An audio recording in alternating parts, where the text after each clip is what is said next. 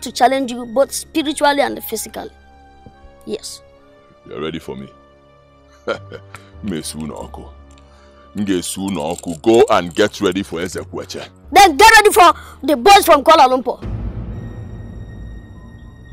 Ezekweche spiritually and physically, you think we know rich, huh? Ezekweche me frauding pa, you know say go.